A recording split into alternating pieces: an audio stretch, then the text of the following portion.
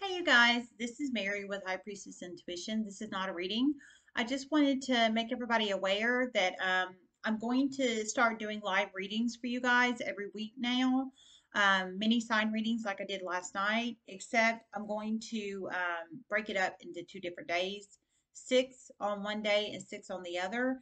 That way it doesn't run it up too long because um, I averaged it out with all 12 signs um, last night. It was approximately seven minutes a sign, but um, it took um, two and a half hours because um, of all the in between and um, uh, all 12 signs.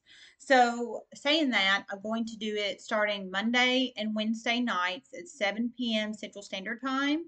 I'm going to do lives. Okay, so Monday, uh, Monday and Wednesday nights at 7 p.m. Central Standard Time will be the live times. Um, mini sign readings, um, half of the zodiac on Monday and half on Wednesday.